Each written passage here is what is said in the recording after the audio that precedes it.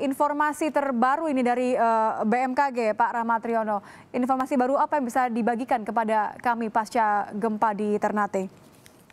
Ya, ini tadi uh, hasil update uh, kami sampaikan bahwa magnitudonya adalah 7.1 ya dengan kedalaman 49 km dan ini level status warningnya adalah waspada untuk Eh, daerah di minahasa bagian selatan dan minahasa utara bagian selatan juga.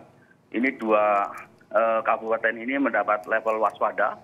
Sebetulnya waspada itu ancaman tingginya itu kurang dari satu meter ya.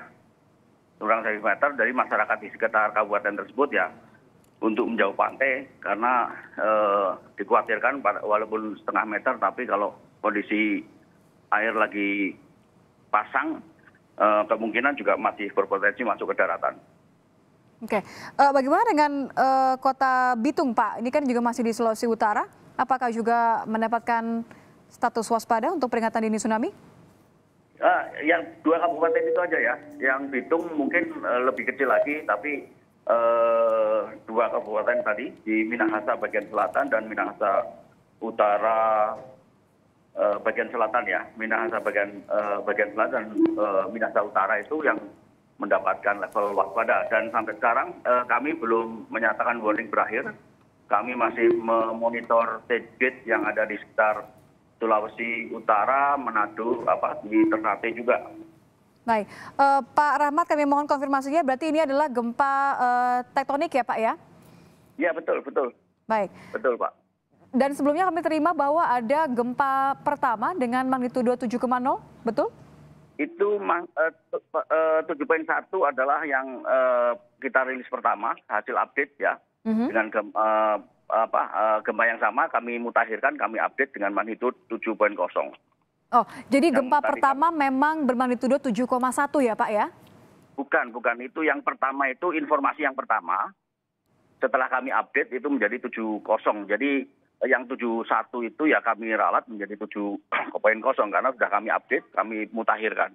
Baik, jadi kami juga akan meralat bahwa gempa bermagnitudo 7, uh, 7,0 ini adalah gempa yang terjadi pukul 22 lewat 8 menit ya Pak Rahmat?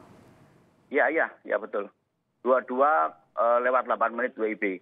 22 lewat 8 menit. Dan saat ini juga artinya eh, BMKG masih mengeluarkan peringatan dini tsunami, Pak?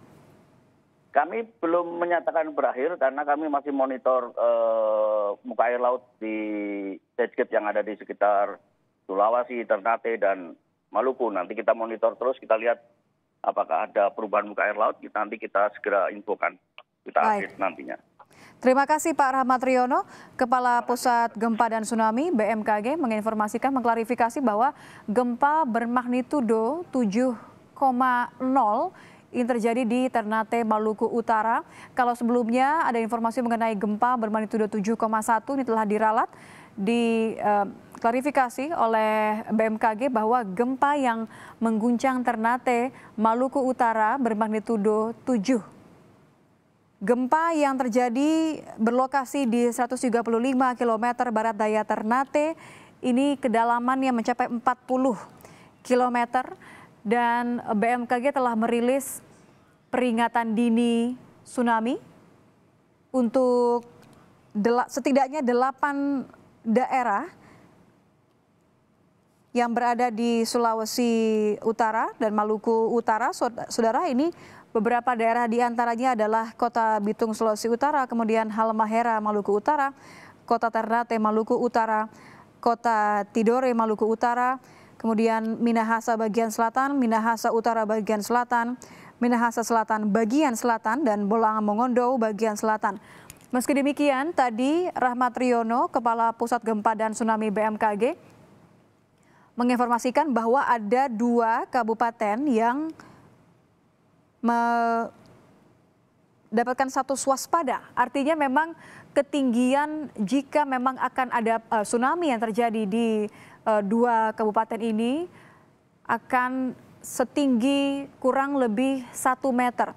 Meski demikian, memang BMKG belum mencabut peringatan dini, dini tsunami ini, saudara. Uh, warga diminta untuk menjauhi perairan dan juga segera mungkin untuk menuju ke tempat yang lebih tinggi, lebih aman mengingat bahwa ada dua kabupaten yaitu Minahasa Selatan dan uh, Minahasa Utara bagian selatan, Saudara. Gempa bermagnitudo 7 melanda Ternate, Maluku Utara. BMKG telah merilis potensi dini, maksud kami peringatan dini tsunami hingga kini belum dicabut. Ada dua kabupaten, Minahasa Selatan dan Minahasa Utara, bagian selatan dengan status waspada. Warga diminta untuk menjauhi perairan dan menuju ke tempat yang lebih tinggi. Warga juga diminta untuk tenang hingga ada informasi lanjutan dari BMKG dan pemerintah setempat. Breaking News Kompas TV masih akan kembali usai jeda, Saudara.